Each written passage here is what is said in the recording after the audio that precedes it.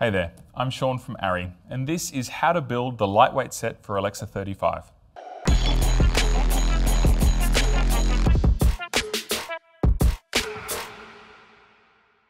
The first thing we're going to do is to flip the camera upside down. So just make sure that the ECS antenna is out of the way, and then you can unscrew the two Wi-Fi antennas here, which are these nice hard plastic robust antennas, but it's just better if we pull them off. So we can turn the whole thing upside down, and then grab the BUD1. So this is the Balance Utility Dovetail BUD1, and it basically is the plate we're going to leave on the Alexa 35 for pretty much every kind of rigging scenario. It has a much wider dovetail here than the one you would find in, say, a Mini LF set, which means that it's you know, a little bit more stable side to side, which is nice, and it attaches in five places instead of four. So there are four screws at the front, and there is one screw at the back here. Now, when you're putting it on, just get all the threads started first. Make sure the screws are all aligned and in their holes, and then you can go through and just give it a bit of a nip up. They're not, you, know, you don't really have to crank down on these screws here. They just need to be firmly finger tight and they will stay there. So now we can turn the whole thing the right way up. On the top of the camera, we're going to place this plate. This is the Universal Adapter Plate, UAP3, and it is the smallest plate for the Alexa 35 that still has centered holes. So it will work on the top and the bottom. Now, this little bump here goes to the front, and these little wings are at the back, because that's where you would attach the top extension bracket if you'd like to run it. So again, four screws. Now you'll notice that in this plate there are a whole heap of M4 holes, all spaced 20 mil apart. That is the standard for, say, an RMB3, which you also get in this kit. So you can grab this and put it up here for a rod, maybe a viewfinder cross pipe, or you can do little, you know, rod mounting stuff like this, or have it at the front. So if you want to run a really lightweight viewfinder setup, that's one way you can do it. Now, the next piece you can choose to use, it's obviously optional, is the TEB1. That's the top extension bracket. So to get this on, I would recommend that you open up the UAP3 screws just a half turn so that there's a bit of wiggle room there because this plate needs to slide into two holes and then I would attach the back screw first. So that will screw into a hole in the top at the back of the camera and then you have one screw on the uh, each side that pulls the UAP3 and the TEB1 together. So that's this little angled screw right here. And then we can do these up again. Nicely finger tight is great. So the TEB1 does a couple of things. It gives you obviously a lot more accessory mounting options here. And if you had one of the articulated mounting plates, which is in the production set, and of course you can buy separately, then that would mount perfectly just here so that when you're running a transmitter on the side of the camera, you can flip it up and out of the way to still get access to the ports. It's a pretty cool new idea. So now is probably the time to put our antennas back to the right position. We can screw in the Wi-Fi antennas again. If you have to pull off the Wi-Fi antennas for any reason, then I'd recommend that you turn off the Wi-Fi in the camera. So just make sure those are finger tight. We're all good. Okay, top handle. So this is kind of the cool part about the whole lightweight set really, I think, is the lightweight camera handle. It only weighs 220 grams and there's a little wing nut screw here which we can unloosen and then the whole top rod will slide along. So when it's on the camera you can really find a great place for your hand to sit where it's balanced and you can run around with the camera kind of in your grip. Now the lightweight camera handle can go in two positions. You can go here or you could flip it around and go here, totally up to you. And then of course slide the handle forward. I'm going to put it in this way. Now, the reason that these screws are so much bigger than the others is because it speaks to the philosophy behind all of these accessories. The, the, plates that you screw directly into the camera body are designed to be as rigid and small and lightweight and compact as possible, and so that you don't have to take them off when you're going into a gimbal or a Steadicam or some other rig. The accessories that sit on top of those plates, like this handle, can then be tightened and loosened without tools so that you can quickly take them off and change between different modes of shooting. Now, I've already told you about this sliding back and forward. The other nice thing with this handle is that there is space here to leave a gimbal top plate um, while the handle is still attached. So we will be selling this. This is the adjustable top plate for the Movi, and it is a nice little plate we can run in here that comes with a little Delrin block, which has a couple of screws in it you can see here, because depending on what kind of top plate you're running it on, you would need different sizes of screws. So you would take those out and screw them in here, and then you can leave that underneath, and then maybe choose to take a SAM5, which is a stabilizer adapter plate, which goes under here, which is for the bottom side of the Movi. So you can see how you can quickly change from you know, a lightweight setup like this with a handle and a base plate to one that will slide straight into a Movi, no tools required. So we've done that. Now, take note that there are, of course, spaced M4 holes here, 3 8 and a quarter inch hole. So you could put a rod mounting bracket up here as well, or a monitor arm, or anything like that. If you unscrew the back of this lightweight camera handle, which is the side that doesn't have the screw mounting holes at the front, so you unscrew this, then we can take the BHA1. So this is the balance harness adapter. And this is designed for suspension rigs where you would wear a vest like an easy rig and it dangles down. And particularly it works really well with the EasyRig. And we have those little chrome balls that you put into the BHA1 is a quick release mechanism for the U Easy Rigs, and that's designed to screw in here so that when you find a good position for your handle, you can still slide this back and forth to make sure that the Easy Rig is balanced as well. I've also used this as a monitor mount and you can slide the whole viewfinder thing out the uh, top pipe here, the carbon top pipe, put this on, put this in here and then use one of those really small little monitor mounts with a seven inch, kind of a more modern way of operating than running a viewfinder, which is pretty nice. So I'll put this back in the normal position and then just chuck the stopper on the end to make sure it doesn't fall off. And then we can lock that. Now, mounting a viewfinder. There are a couple of options. The one that comes with this set is using the holes that are found up the front here on top of the lightweight camera handle. So you'll notice that there is obviously 3 8 a quarter inch, and two M4s here. So we're going to take the RMB3, I'll just tighten this off, and we're going to screw that in here so it can go upwards like this, or you can flip it around, which I might do. Screw this into the front of the top handle, and then we're going to take the cross pipe, which is basically half of an MVB1, if you're familiar with the viewfinder bracket from the Mini. We'll remove this little stopper that's here on the end, so this unscrews, like so, and then we can slide this through. Make sure you've undone the clamp on the RMB3 first, because that really helps. Put that through, put the stopper on the end, and then you have the standard viewfinder mounting. So you can still slide the whole handle forward and backwards if you need to get the position of the viewfinder just right. Single clamp here, obviously big range of motion. You can then use viewfinder extension brackets and all that kind of stuff as well.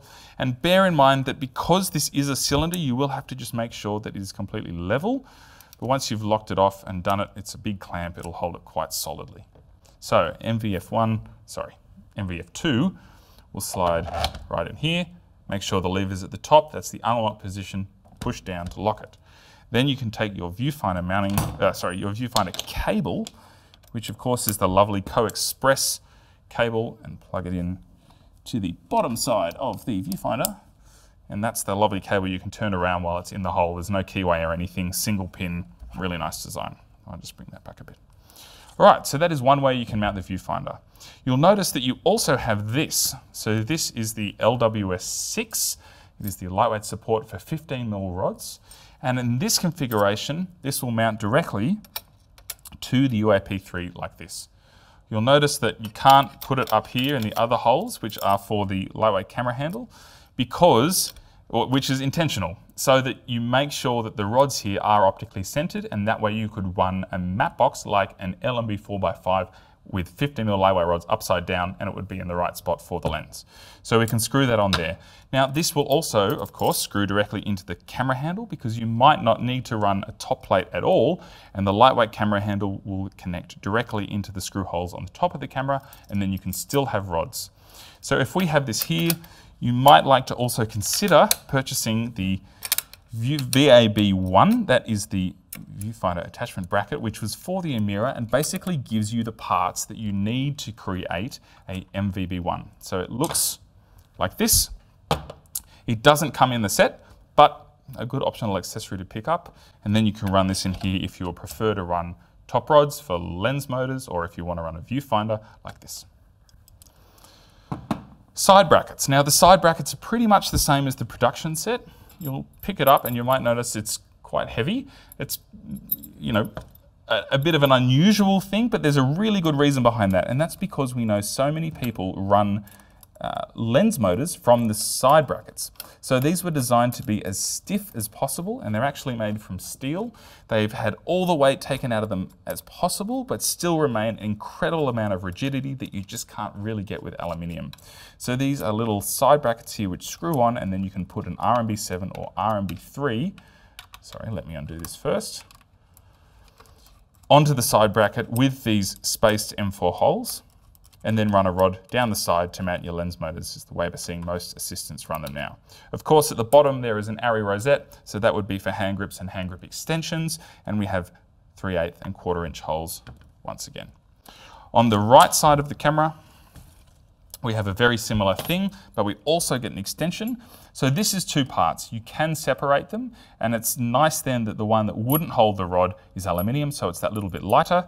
And we can put this onto the side and have heaps of accessory mounting options. Great for you know time code boxes and stuff like that. L cubes. Let's put this in. So four screws. And notice as well, it's really nice that these screw directly into the camera body, whereas on previous camera designs, they've screwed into the top plate. So if you wanted to change the top plate, you also had to take off the side brackets first, which can be a little frustrating. So that screws in nicely there. And then we have an RMB7. Now this RMB7 on this side will work really well with the single 90mm and single 150mm long stainless steel lightweight rods. So that's a 19mm diameter lightweight stainless rod and the 150 mil, for example is the perfect length for signature primes and then you can just drop two CForce mini motors on there, it works really well. 90 mil is good if you have much smaller glass like super speeds or some rehoused stills glass, something like that. So this can mount in a bunch of different positions and it looks very similar to the RMB3 we're using up here, but it's just that little bit more prof low profile so that it's easier to fit into gimbal rigs and into the Trinity in particular. Now, on the back, we haven't talked about the back yet, but the back has this hole here where the B-mount adapter goes. So this would slot straight in, sits flush with the back of the camera, works really nicely. I just want to point out that we also have two electronic modules. One is the power distribution module, which comes with the production set that gives you seven extra power outputs. And this is the audio extension model. So this is module. So this is a really high quality audio uh, module for the camera that you can put of course, line level signals into, but it's also the way that you get microphones into the camera. So this is a two channel microphone preamp. It's exceptionally high quality. We actually think it's the best going microphone preamp in any camera, and that would bolt in, and then our B mount adapter would bolt in just in front of it. So that doesn't come with a lightweight set, but it's something I really recommend you look at. It also has two power outputs, so that gives you a total of four on the camera, so you can run just about any accessory. Now, four screws for the B-mount adapter on the back of the camera. And then the next thing we're going to look at is the shoulder pads. And the lightweight set comes with two options for base plates. One is my favorite part, and that is this, the CSP2. So this is a very kind of long and comfortable, lightweight, tiny shoulder pad which would slide directly under the camera. So you'll notice it has a cutout here to follow the contour of your shoulder. So you make sure that that's pointing towards the side that you're operating on and then slides directly into the BUD1 like so and you'll pass a safety stop there. And then you have this huge range of motion to adjust for balance on your shoulder and then clamp at the front. Now there are two little feet at the front and at the back for this so that you can set it down on a table. You're not just resting it on the cushion. And to me this kind of you know, harks back to how we used to run 16mm cameras like the SR3, which had a flat base, and it's a really nice way to get a low center of gravity camera rig because there's hardly anything in there and it sits great on your shoulder. The one downside with this is that it doesn't have any rod mounting options. So in the lightweight set, you also get this guy, which is the BPA6. So the BPA6 is a combination rod console, so you can put two lightweight 15mm rods in here, and of course there's this nice soft little small shoulder pad at the back there is also this thing here. So this is an optional part of the BPA6. You can of course unscrew it with four screws, but it's designed to be a touch and go 35 plate, which is the standard that you'll find in a Euro plate, but also plenty of other tripod adapters. And then you have a snap plate, which will be permanently mounted to the bottom of your camera. it's kind of hard to lose.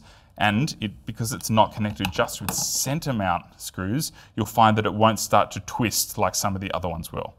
If you don't want to use that, well, there's another option. I can unscrew this little adapter at the bottom, four screws. I should also mention there are uh, centered quarter and 3 8 inch holes here so that you can put just a normal, well not a normal, but a, a different kind of tripod snap plate there should you wish to.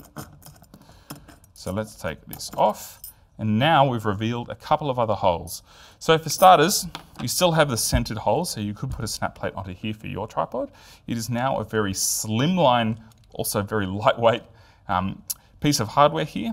And you'll notice that we also have these offset holes. Now it just so happens that this plate is exactly the right height for a traditional bridge plate. So this is a BP8 for Studio 19 rods, and then you drop the two little you know, retracting pins here into the holes at either end, and then two screws to do it up. I'm not going to put this all the way in, you get the picture, but that is how you would run a traditional, you know, very mechanical, simple bridge plate that doesn't have the quick release mechanism that is inside the CBP5 and the CBP6. So, that kind of brings us to the end of the video. These are all the accessories in the lightweight set for the Alexa 35. I hope you enjoyed that. Thanks for coming all the way to the end, and uh, happy shooting. We'll see you in the next one.